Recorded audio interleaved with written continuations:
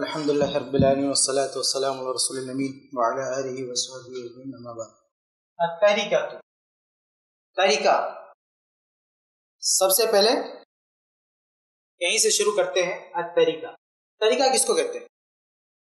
हा? एक आदमी फौत हो गया और जो माल छोड़ के गया उसको तरीका कहते हैं। तरीका का असल माना क्या होता है? ये अरबी लफ्ज से तरका से। तरका या तुरुकु जिसके माने छोड़ना होता है। तरीका, जिस लफ्ज से बना उसके माने छोड़ना। इसका जो असल लोगों माना है, ये हमारे जहन में अगर रहे तो दो गलत फहमियाँ दूर हो सकती हैं, जो हमारे यहाँ, हमारे इलाके में पाई जाती एक गलत फहमी क्या है? कि बच्चों का बाप अभी ज़िंदा है, बाप के पास माल है, जायदाद है, बाप ज़िंदा है और उसकी ज़िंदगी ही में बच्चे क्या समझ लेते हैं? कि बाप की जायदाद में हमारा हक है। और मांगने भी लगते हैं और कहीं कहीं ले भी लेते हैं, तकसीम भी हो जाता है। तो उसको ये तरीका समझ लेते हैं कि अभी उसको हम बैठ के बांट लेते हैं। बाप ज़िंदा है। ज़िंदा है तो उसकी जायदाद तरीका नहीं है, क्योंकि उसने अभी छोड़ा नहीं। तरीका कब होगा? जब उसका इंतकाल हो जाए। उसकी वफात हो जाए, तब उसका माल तरीका होगा। तो बाप अभी ज़िंदा है तो औलाद इस गलत फहमी में ना रहे कि वो तरीका हो गया, अब हम हिस्सा लगाएँ अपना। तो अभी तरीका नहीं हुआ। वालिद जब तक ज़िंदा है, बाहयात है, तब तक बच्चे उसमें अपना हक नहीं मांग सकते, नहीं ले सकते। वो बाप का बच्चों का नहीं है। बल्कि अगर इत्तेफाक से दो बेटों में से कोई एक बेटा फौत हो गया और बाप अभी ज़िंदा है, फौत हो गया। तो फिर उसको तो कुछ नहीं मिलेगा।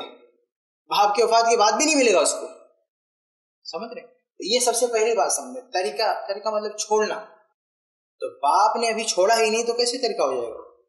एक दूसरी गलत फहमी, एक आदमी, जिसे मान लो बाप है, बच्चों का बाप है, वो अभी फौत नहीं हुआ, ज़िंदा है, लेकिन फौत होने के बाद उसके माल के साथ क्या किया जाए, वो वसीयत करना शुरू कर है एक बटे तीन की नहीं, बल्कि पूरे माल के बारे में कहना शुरू कर देता है। क्या? कि मेरे, मेरा जो ये फ्लैट है उसको क्या करना है, ये कौन लेगा? वो बांटना शुरू कर देता है। मरने के बाद वो जो है, रहनुमाई करना शुरू कर देता है। कि मेरे माल से ये करना, मेरा ये ये फ्लैट है, ये कर देना, मेरी ये ज़मीन इसको ये कर देना, वगैरह वगैरह। तो उसको गलत फहमी क्या है, वो समझता है कि मरने के बाद भी वो माल मेरा है, जबकि उसका नहीं है। इसलिए कहते हैं तरीका, वो छोड़ चुका है। वफात हुई तो उसने छोड़ दिया। अब उसके हाथ में नहीं रह गया वो। इसलिए वफात से पहले वो उसके बारे में कोई रहनुमाई नहीं कर सकता। कि क्या करना है? वो तुम्हारा नहीं है, तुम छोड़ चुके हो। तो दूसरी गलत फहमी जो कुछ लोगों के अंदर होती है कि वफात के बाद भी हम इख्तियार रखते हैं अपने माल में से, ये गलत है। एक बटे तीन सिर्फ़ है, एक बटे तीन के बारे में उसको हक दिया अल्लाह ताला ने। तो इसका जो लोगों माना ना तरीका मतलब छोड़ना। ये लोगों माना हमारे जहन में रहे तो ये गलत फहमियाँ दूर हो जाएगी। अब आइए असल देखते हैं कि तरीका का मफहूम क्या है। तरीका का मतलब क्या है। एक आदमी फौत हो गया तो क्या क्या शक्ल हो सकती है तरीका की? हाँ?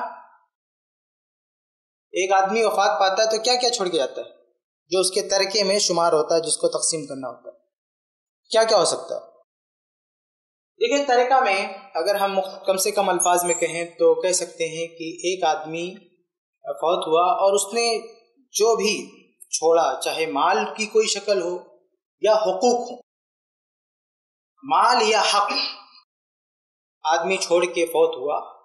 माल या ऐसा हक जिसका ताल्लुक माल से हो। तो माल या हक, दौलत या हकूक छोड़ के मरता है, उसको तरीका कहते हैं। माल की कई शक्लें होती हैं। जैसे कहा इन्होंने कि घर बार छोड़ के गया, पैसा, जेवरात नहीं लिबास वगैरह जो भी औरत है तो उसके जेवरात हैं। आदमी है तो उसके कपड़े हैं। ये कपड़ा वगैरह भी तरका में आता है। आदमी जो पहन रहा ना, वो उसके तरके में शुमार होगा और शुमार करके बाकायदा वो तकसीम होगा। जैसे एक आदमी मोबाइल इस्तेमाल करता है महँगी मोबाइल, है? फौत हो गया। तो अब ये मोबाइल जो इस्तेमाल कर रहा था, ये क्या है? ये उसके तरके में शामिल है जो कुछ उसकी अपनी बाइक है उसकी कार है, सवारी है, ये सारी चीज़ें उसके तरके में शामिल हो जाएँगी और सबको तकसीम किया जाएगा। तो तरके में वो सारी चीज़ आ जाती है। माल की कोई भी किस्म हो। उसने किसी को पैसा दे रखा है, किसी ने उससे कर्ज ले रखा है तो वो भी वापस लेके तरके में शामिल किया जाएगा। या इसने किसी से कर्ज ले रखा है, मरने वाला, इसने किसी से लाख रुपया ले रखा था, और बदले में बतौर रहन उसके पास कुछ अपना माल छोड़ दिया था। ये जो माल बतौर रहन रखा हुआ है ना, ये भी उसके तरीके में शुमार होगा। तो क्या करेंगे? तो जितना पैसा इसने लिया था उसको रिटर्न करेंगे और उसका रहन लाके तरीके में शामिल कर देंगे। तो जो भी शक्ल है, जिस शक्ल का भी माल आदमी छोड़ के गया है, सबको तरके में शामिल किया जाएगा। घर हो, दुकान हो, माल हो, ज़मीन हो उसका कपड़ा, लत्ता, उसकी सवारी, उसका मोबाइल, जो कुछ है, ये सब तरके में शामिल ये माल। और हक। कोई हक छोड़ के गया। जैसे कोई राइटर है मुसन्फ है। उसने कोई किताब लिखा। तो कॉपीराइट हक के तबात उसको छापने का जो हक है, ये उसका था, जब ज़िंदा था। अब उसके वफात के बाद ये हक भी इस तरीके में शामिल हो जाएगा। उसके बच्चों में, आगे उसके वारसिन में मुंतकिल होगा। ये एक मिसाल है हकूक की। और भी कई चीज़ें हो सकती हैं, लेकिन सिर्फ़ बतौर मिसाल इतना समझें आप। ये एक मिसाल के तौर पे मैंने ज़िक्र किया। खुलासा ये कि तरीका में माल या हकूक, एक आदमी माल की शक्ल में या ऐसे हकूक जिनका ताल्लुक माल से हो। ये तरीका का मफहम है। आगे तरीका के मसारिफ।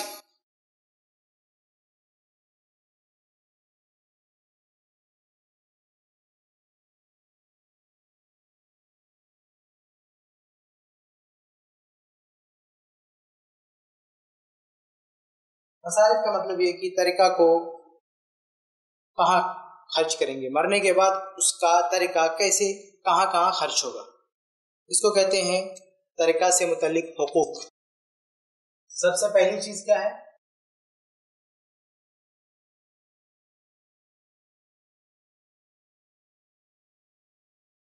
कफन दफन। आदमी जो तरीका छोड़ के गया है, सबसे पहले, पहला मसरफ, यानी उस माल में से सबसे पहला खर्च जो होगा, वो कहाँ पे होगा? उसके कफन दफन मरने वाला मर रहा है तो उसके कफन दफन का पैसा उसके माल से अदा किया जाएगा। एन कफन दफन के वक्त अगर किसी ने अदा कर दिया है तो उसको चाहिए कि बाद में वसूल कर ले। तो मरने वाले के का कफन दफन उसके माल से देना चाहिए। और हमारे यहाँ जो राइज है कि कोई भी आदमी आगे अपनी जेब से किसी का कफन दे देता है, उसकी कब्र का पैसा दे देता है, और जो भी चीज़ें हैं, कफन दफन या डेथ सर्टिफिकेट या जो भी अखराज हैं, उसके तदफीन के लिए। ये सारे अखराज किसी और को नहीं बर्दाश्त करनी चाहिए, बल्कि मैत के माल ही से इसको अदा करना चाहिए। क्योंकि ये मसला खुददारी का है। एक आदमी बहयात होता है, ज़िंदगी में तो ये पसंद नहीं करता कि दूसरा उसको कोई कपड़ा दे, हा? दूसरा उसको उस पर कोई इस तरह की खर्च करे। आदमी की खुददारी होती है, आदमी ये सब चीज़ें नहीं कबूल करता है दूसरों से। तो मरने के बाद भी उसकी इस खुददारी का एहतराम रखना चाहिए। उसके बाद जब अपना पैसा मौजूद है तो उसी से उसके कफन दफन का इंतज़ाम होना चाहिए। बुखारी में मुसाब बिन उमर रज़ी अल्लाह का वाक़ है कि उनकी वफात हुई तो उनके तरके में सिर्फ़ एक चद्दर थी। और जब उनको कफन देने लगे उसी चद्दर से तो सर ढकते थे तो पाँव खुल जाता था। पाँव ढकते थे तो सर खुल जाता था। तो अल्लाह के नबी सल्लल्लाहु अलैहि वसल्लम ने कहा कि इनका सर ढक दो और पाँव की जगह पे जो खाली जगह है उस पर घास डाल दो। ऐसा क्यों किया? साहब कराम रज़ी और मौजूद थे। वो शायद तो कफन दे सकते थे, अपने पैसे का कफन पहना सकते थे। लेकिन इस वजह से नहीं पहना है कि उनका अपना अभी इतना माल है कि उनका काम चल सकता है। इसलिए उनको खैरात का कफन देने की ज़रूरत नहीं है। तो ये आदमी की खुददारी का मसला है कि ज़िंदगी में आदमी खुददार है, किसी की खैरात नहीं खाता तो मरने के बाद आप क्यों खैरात खिलाओगे उसको? उसको खैरात का कफन क्यों दोगे आप? और बतौर तोहफा भी, अगर कोई ये सोचे कि हम खैरात नहीं दे रहे, तोहफे के तौर पर उसको कफन दे रहे हैं तो ये भी दुरुस्त नहीं है। क्योंकि तोहफा देने के लिए ये भी तो ज़रूरी नहीं कि सामने वाला उसको कबूल करे। एक आदमी फौत हो चुका है, कैसे आपको पता है कि वो कबूल करेगा, नहीं कबूल करेगा? और दूसरी बात, जब वो ज़िंदा था तो क्या इस तरह के तोहफे कबूल करता था? क्या वो रमज़ान में कपड़े वसूलता था लोगों से? उसको दिए जाते थे? जब उसकी हयात में ऐसा उसका कोई मामला नहीं था तो मरने के बाद हम उसके साथ ऐसे क्यों कर रहे हैं? जबकि उसके पास अपना माल है। माल नहीं होता तो अलग बात। लेकिन जब उसके पास अपना माल है तो उसी के माल से इसके बाद ये पहला खर्च निकाला जाएगा उसके तरीके से। इसके बाद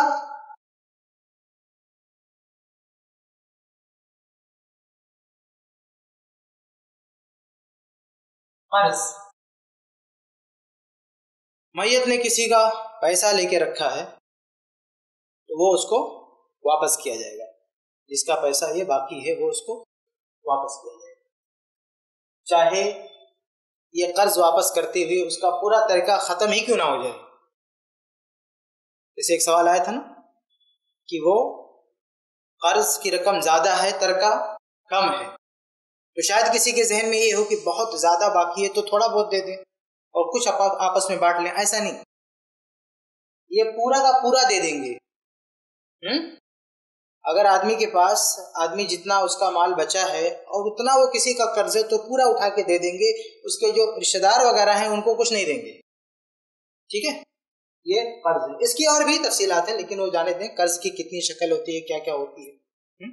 बस अब अभी जाने दें, इतना जहन में रखें कि कर्ज है, मैयत कर्जदार है तो वो उसके छोड़े हुए माल से वापस करेंगे। इसके बाद ये दो खर्च निकालने के बाद अगर तरके में कुछ और बचता है तो ये देखेंगे कि उसने कोई वसीयत तो नहीं किया।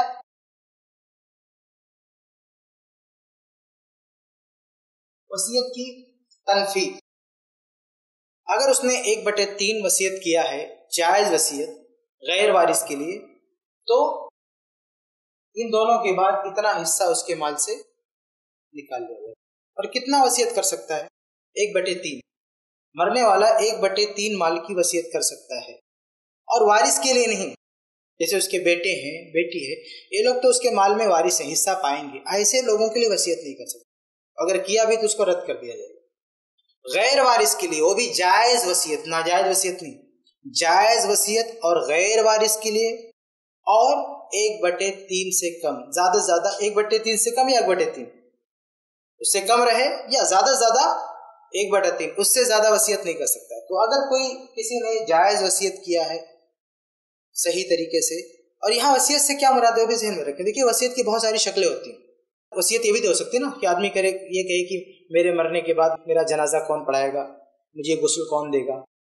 ये भी आदमी वसीयत कर सकते हैं। इसको भी वसीयत की एक शक्ल कहते हैं। लेकिन यहाँ फ़राइज में जो हम वसीयत की बात करते हैं, उससे मुराद होता है माल से मुतलिक माली अतीय से मुतलिक वसीयत। माली अतिया। यानी किसी को माल देना है। उसके तरके में से कुछ माल किसी को देना है। इससे जुड़ी हुई वसीयत। और भी वसीयत बहुत सारी, वसीयत की बहुत सारी शक्लें हो सकती वो सब यहाँ नहीं मुराद है। यहाँ सिर्फ़ माली अतीय वाली वसीयत मुराद है। तो ये एक बटे तीन है। जायज़ वसीयत है गहरे वारिस के लिए है। तो उसकी तनफीज करेंगे। और ये दोनों के बाद, यानी कफन, दफन और कर्ज के बाद जो बचता है ना, उसका एक बटे तीन करेंगे। उसका एक बटे तीन करेंगे और जिसके लिए है उसको दे देंगे। अगर ये है तो वसीयत है तो। नहीं है तो फिर आगे बढ़ जाएँगे। चौथे नंबर पर क्या है? तकसीम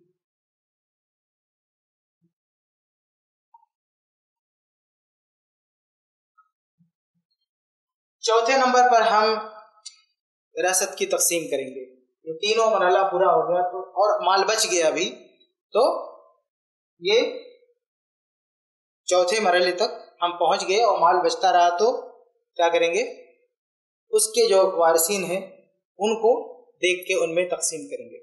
लेकिन इस पे जो चौथा मरला है, इस पर अमल करने से पहले, इन तकसीम विरासत विरासत को तकसीम करने से पहले चार चीज़ें कंफर्म करना ज़रूरी है।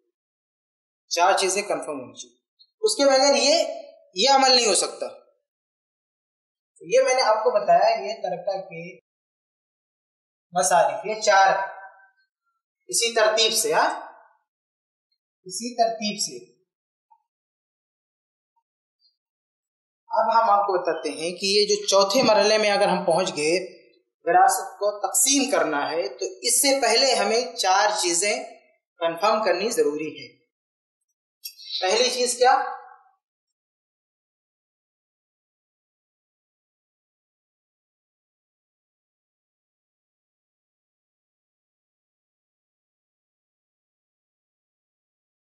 सबसे पहली चीज़,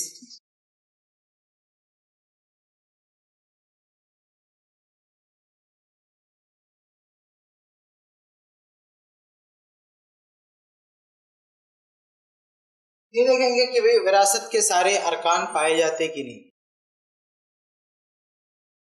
विरासत की तकसीम तभी अमल में आ सकती है जब विरासत के सारे अरकान मौजूद हों। विरासत के अरकान मतलब पिलर, जिनके बगैर तकसीम विरासत का कोई तस्वुर ना हो। और ये कुल तीन होते हैं।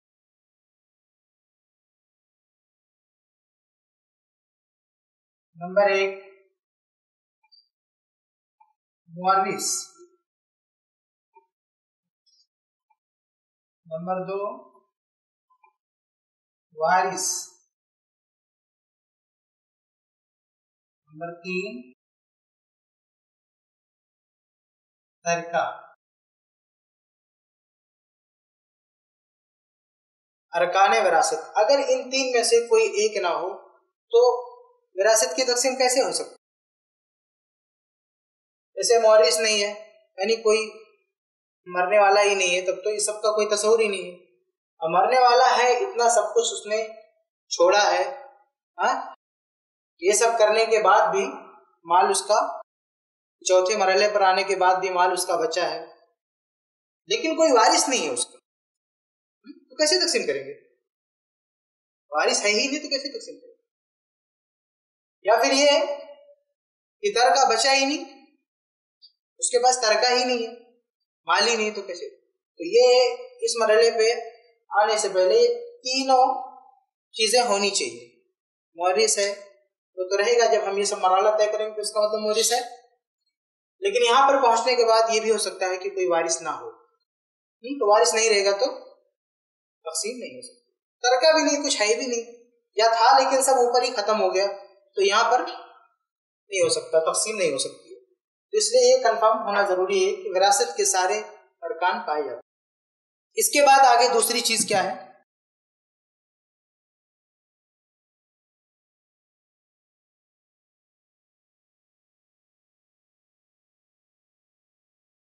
असबाब विरासत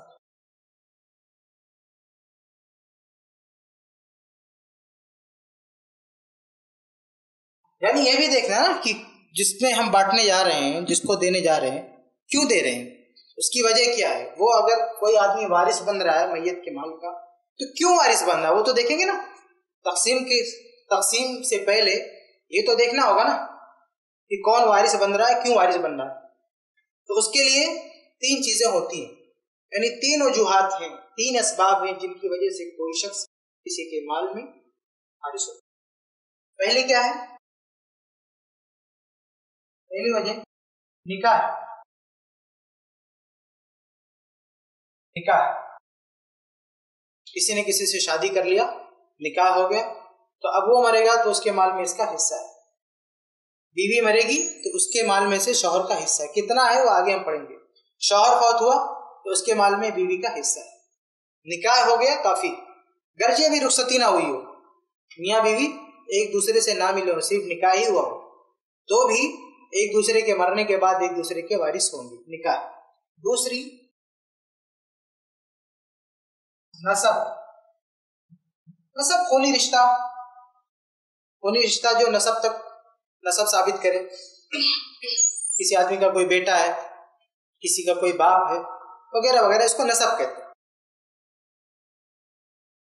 नसब सिर्फ़ खूनी रिश्ता काफ़ी नहीं है। हम्म? नसब होना चाहिए।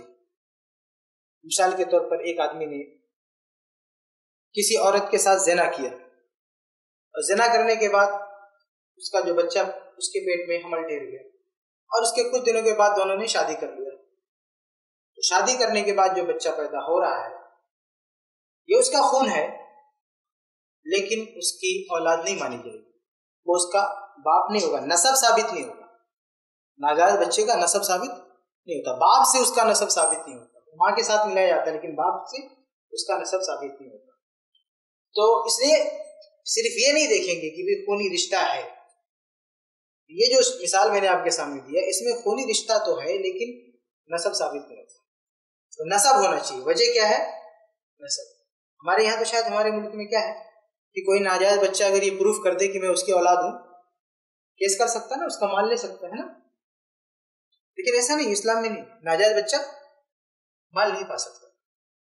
वो वारिस नहीं और यही चीज़ लोगों को मालूम हो जाए तो शायद इस बदकारी से बाज आ जाए कि भाई उससे हिस्से मुतासर होंगे, विरासत से महरूम हो जाएगा। ये सब चीज़ें भी अगर लोगों को पता चल जाए तो शायद ये चीज़ें भी रुकावट बन जाए बदकारी से। तीसरी चीज़ है वला। वला आजकल जो है, इसका वजूद नहीं है।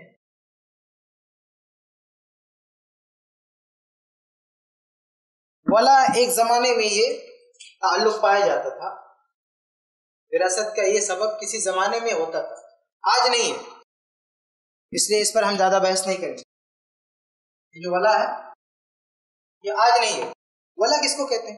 एक आदमी ने किसी को आज़ाद कर दिया, कोई गुलाम था। कोई गुलाम आदमी था, औरत थी कोई उसको किसी शख्स ने आज़ाद कर दिया। तो आज़ाद करने के बाद इसका उससे एक ताल्लुक हुआ ना, कि इसने उसको आज़ाद किया। इस ताल्लुक को अलग है। और इस ताल्लुक की वजह से, जो जिसने आज़ाद किया है, वो उसके माल में हिस्सा पा सकता कब? जब उसकी अपनी औलाद ना हो। उसके अपने रिश्तेदार ना हो। मिसाल के तौर पर एक आदमी गुलाम था। अब किसी ने उसको आज़ाद कर दिया। आज़ादी के बाद वो कमाया, कुछ बनाया होगा, लेकिन उसने शादी नहीं किया, उसके बच्चे नहीं है। हुँ? हम्म? तो उसका जो माल है, कौन लेगा? इसको दिया जाएगा जिसने आज़ाद किया है। या कभी कभी हो सकता है उसके हो भी रिश्तेदार, लेकिन वो रिश्तेदार उसका पूरा माल नहीं पा रहे हैं। ये भी है ना, आगे आप पढ़ेंगे कि ज़रूरी नहीं है कि रिश्तेदारों में सारा माल बांट दिया जाए। यानी जितने रिश्तेदार होते हैं, उनको माल तो मिलता है, लेकिन सारा माल उनको नहीं मिलता, कुछ बचता है। हुँ? तो भी इसको आज़ाद करने वाले को मिल जाएगा। बहरहाल, वो अलग तफसील बाद में हम उसको देखेंगे। खुलासा ये है कि वाला, ये आज चूँकि इसका कोई वजूद नहीं है, इसलिए इस पर मेहनत करने की ज़रूरत नहीं ठीक है? इसको आप तो ये दो चीज़ें कंफर्म हुई। तकसीम विरासत से पहले ये अरकान विरासत पाए जाते हैं। इसबाब विरासत, यानी हमने ये देख लिया कि कौन कौन रिश्तेदार है, किस वजह से है, ये भी कंफर्म हो गया। एक तीसरी चीज़ भी कंफर्म करेंगे, आगे बढ़ने से पहले। क्या?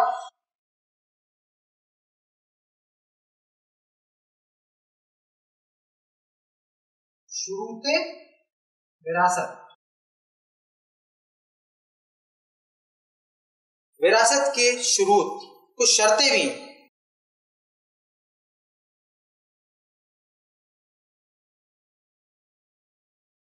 यानी अगर हमने ये भी देख लिया ना दूसरी चीज़, कि विरासत का कोई ना कोई सबब है तो उसके साथ कुछ शर्तें भी, कुछ कंडीशन वो भी देखना ज़रूरी है, उसको भी कंफर्म करना ज़रूरी है। वरना इसमें कुछ गड़बड़ हुआ तो ये सब होने के बावजूद भी तकसीम नहीं होगा उनमें मान, ठीक है? तो ये शुरूत क्या है? शुरूत क्या है?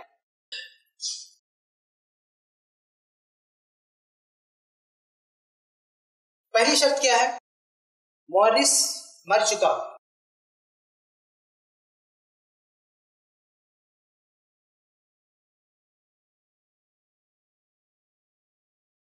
मोतुल मुआरिस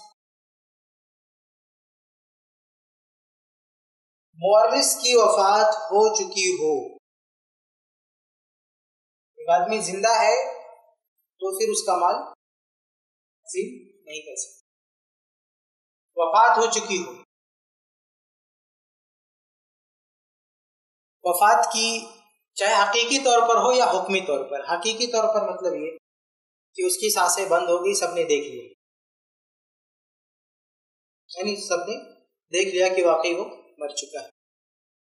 हकीकी मानों में मर चुका और एक हुक्मी वफात, यानी एक आदमी गुम हो गया। अच्छा खासा ऐसे मुंबई में किसी ने प्रॉपर्टी बनाई और फिर अचानक वो गुम हो गया कि उसका कुछ पता ही नहीं।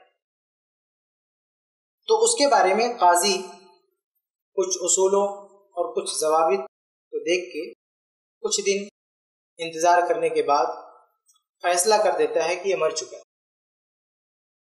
फिर इस फैसले के बाद उसका जो माल है ना उसके वारिसिन में तकसीम है। तो ये जो काजी का फैसला होता है कि ये मर गया, इसको हकीकी मौत नहीं कहते, हुक्मी मौत। ये गलत भी हो सकता है पता हो सकता है तो ज़िंदा हो, बाद में आ जाए। इसलिए हम इसको हकीकी मौत नहीं कहते। लेकिन इन दोनों में से कोई एक होना चाहिए तो वाकई मर चुका है, या काजी ने उसकी मौत का फैसला कर दिया तो इन दोनों के बाद ही हम उसका माल तकसीम कर सकते दूसरी शर्त क्या है?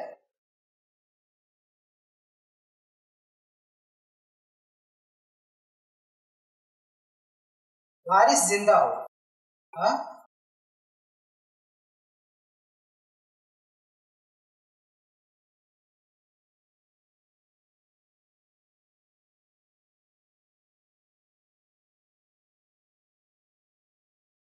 वारिस ज़िंदा जिसको हम विरासत देने जा रहे हैं।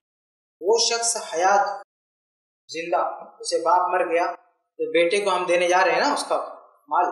तो वो शख्स ज़िंदा हो वारिस के मौत के वक्त। तकसीम विरासत के वक्त नहीं। जब ये मरा था, वारिस जिस दिन इंतकाल हुआ था, उस टाइम पे वारिस ज़िंदा रहा। जैसे एक बाप है, आज किसी बाप का इंतकाल हुआ तो उसका बेटा आज के दिन उसकी वफात के वक्त ज़िंदा तभी उसको हिस्सा देंगे। और मर गया बेटा, यानी उससे पहले ही मर गया, जैसे आज बाप का इंतकाल हुआ। आज से पहले उसके बेटे का इंतकाल हो गया तो अभी उसको हिस्सा मिलेगा। नहीं मिलेगा क्योंकि बाप के वफात के वो ज़िंदा नहीं। हाँ बाद में ये भी फौत हो गया तो अलग मसला। जैसे आज जो है किसी शख्स का इंतकाल हुआ और आज के एक हफ़्ता बाद उसके बेटे का भी इंतकाल हो गया तो उसको देंगे हिस्सा है ना? क्योंकि इसके वक्त, यानी मुहर्रिस के वफात के वक्त वो ज़िंदा था। बाद में वफात हुआ, यानी ज़िंदा होते उसका हक बन गया। अब उसको अभी मिल नहीं सका था एक हफ़्ता तो से मर गया? लेकिन उसका हक तो बन चुका था। तो ये दूसरी शर्त है कि वारिस ज़िंदा कब? वारिस के वफात के वक्त ये ज़िंदा हकीकी तौर पर ज़िंदा हो या हुक्मी तौर पर? यहाँ भी दो शक्ल है, ज़िंदगी। हकीकी तौर पर ज़िंदा जैसे एक आदमी आप देख रहे हैं, सांस ले रहा है, चल फिर रहा है, ज़िंदा है। और एक ज़िंदगी ऐसी भी होती है जिसको हम हुक्मी ज़िंदगी कहते हैं। जैसे कोई औरत है, अब वो अमल से, पेट से, एक माह हुआ, एक माह का है हमल उसको तो नहीं कहेंगे ना ज़िंदा है वो, है ना? लेकिन अगर एक आदमी ने अपनी बीवी से ताल्लुक कायम किया, उसकी बीवी पेट से हुई हमल से हुई, और एक माह के बाद ये आदमी मर गया, शौहर मर गया तो अब उस शौहर के माल में इस बच्ची का भी हिस्सा बन गया, जो अभी माँ के पेट में है और नुत्फे की शक्ल में। माँ के पेट में है नुत्फे की शक्ल में है, लेकिन उसको भी हिस्सा मिलेगा। उसकी जो ज़िंदगी है ना, उसको हम कहते हैं हुक्मी ज़िंदगी। यानी हकीकत में ऐसा हम लोगों की तरह ज़िंदा नहीं है। लेकिन उसको ज़िंदा लोगों के साथ ही शुमार किया जाता है। ये जो हम कहते हैं वारिस ज़िंदा उससे मराद हकीकी तौर पर ज़िंदा हो। हुक्मी तौर पर जिसकी मिसाल आपके सामने रखेगी कि माँ के पेट में नुत्फे की शक्ल में। नुत्फे की शक्ल में है, यानी माँ के पेट में बच्चा लुत्फा ठहर चुका है तो वारिस बन गया वो। बाप मर गया तो वारिस हो बन गया। ये, और तीसरी शर्त क्या है?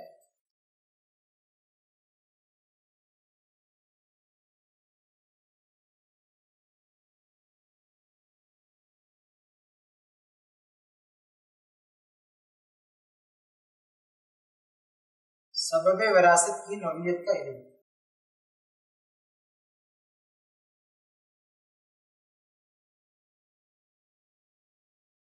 यानी ये मालूम हो कि किस तरह, किस शक्ल में ये बारिश बनता है, इसका पता।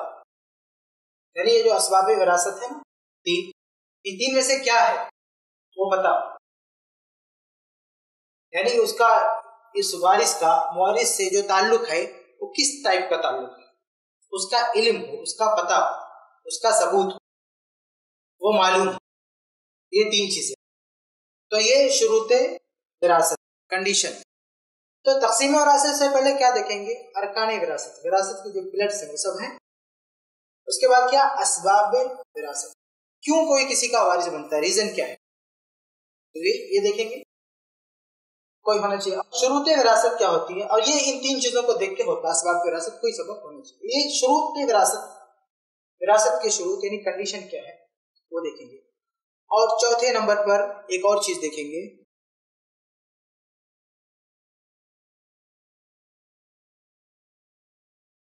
मवाने इसना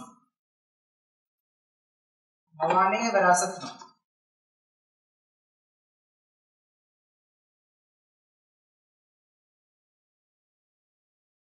कभी कभी क्या होता है कि एक आदमी, यानी ये सारी तीनों चीज़ें पाई जाती हैं, अरकान विरासत भी सब हैं असबाब विरासत भी पाए जाते हैं, यानी वारिसीन जो वारिस बनने तो कोई ना कोई सबब है। और ये सारी शर्तें भी पाई जाती हैं। फिर भी, इन तीनों के बावजूद भी, क्या है, किसी को हिस्सा नहीं मिल पाता।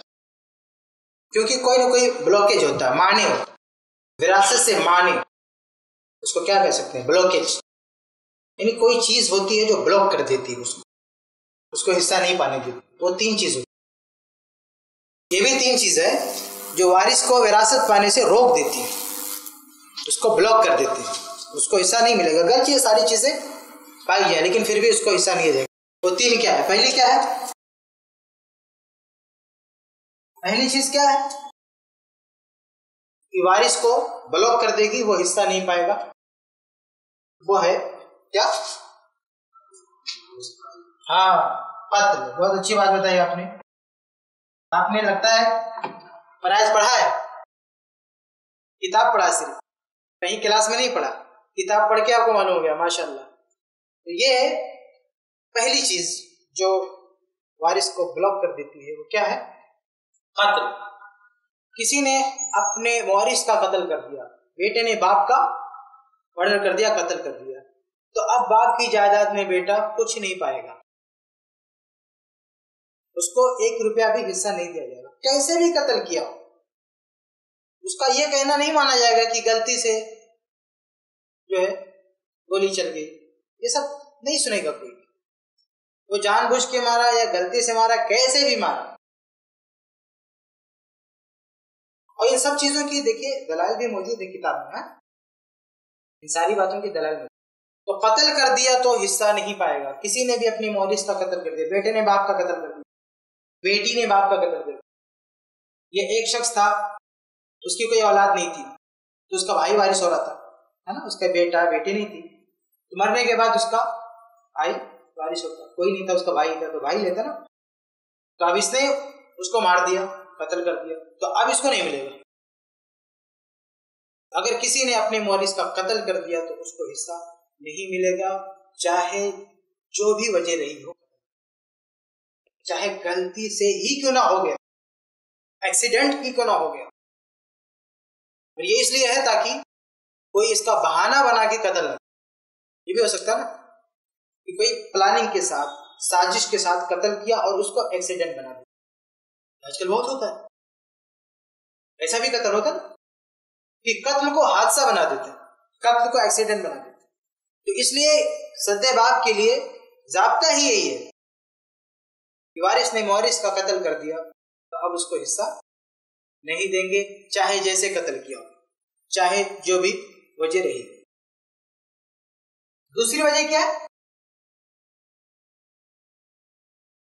एक और वजह है जो वारिस को ब्लॉक कर सकती वो इख्तलाफ दीन यानी कुफ। किसी का काफिर होना। कोई भी काफिर हो गया मोरिस हो गया या वारिस हो गया तो एक दूसरे से हिस्सा नहीं पाएँगे। कोई आदमी, एक बाप है, वो काफिर है, उसका बेटा मुसलमान हो गया तो उसके माल में सब हिस्सा या बाप मुसलमान है और बेटा काफिर है। एक फैमिली है, मुस्लिम, एक एक फैमिली है उसमें से बाप ने इस्लाम कबूल कर लिया। ठीक है? और बेटे ने इस्लाम कबूल नहीं किया, वो कुफ्र में है। तो अब बेटे की, अब बाप की बाप की मिरास में बेटा हिस्सा नहीं पाएगा, क्योंकि दोनों का दीन अलग है। बाप मुसलमान है, बेटा काफिर। काफिर बेटा मुसलमान बाप से हिस्सा नहीं पा सकता। ऐसे ही बाप अगर काफिर है और बेटा मुसलमान हो गया तो भी ये उसके माल से हिस्सा नहीं पा सकता। दोनों का दीन एक होना चाहिए। वारिस मोरिस का दीन एक होना चाहिए। तो ये कत्ल, दूसरा कुफ्र, तीसरा क्या है? तीसरी चीज़ भी है जो विरासत से ब्लॉक कर देती है। गुलामी।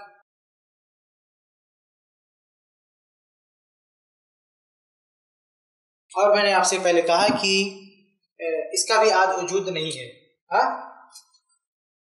इसलिए इस पर ज़्यादा बहस करके कोई फ़ायदा भी नहीं तो ये पूरा खुलासा है हम्म? यानी मीराज से मतलब जो इब्तदाई बातें होती है, वो हम इनमें जानते हैं ठीक है तो ये तरके के बारे में मैंने आपको बताया, तरका किसको कहते हैं फिर उसके मसारिफ इसी तरतीब के साथ? हम्म? सबसे पहले कफन दफन में खर्चा लगाया जाएगा, फिर कर्ज अदा किया जाएगा, उसके बाद अगर वसीयत की है तो वो दिया जाएगा इन दोनों के बाद जो बचा उसमें से एक बटे तीन ज़्यादा ज़्यादा जो वसीयत क्या दिया जाएगा। इन तीनों के बाद जो बचता है आ, वो वारसीन में तकसीम होगा। लेकिन वारसीन में तकसीम होने से पहले ये चार चीज़ें कंफर्म होनी चाहिए। पहली क्या? विरासत के सारे अरकान मौजूद हों। दूसरा इसबाब विरासत यानी कोई सबब मौजूद हो। और तीसरा शुरूत विरासत की सारी शर्तें पाई जाएँ। और चौथा, कोई माने ना हो, कोई ब्लॉकेज ना हो। हाँ वारिस को कोई चीज़ ब्लॉक नहीं कर रही हो। तो ये सारी चीज़ें देखी गई तो अब जो अगला अमल होगा वो विरासत की तकसीम का। यहाँ तक तो समझ लें आप पहला हिस्सा आपके सामने आगे हम पढ़ेंगे। वारिसिन की लिस्ट कौन कौन वारिस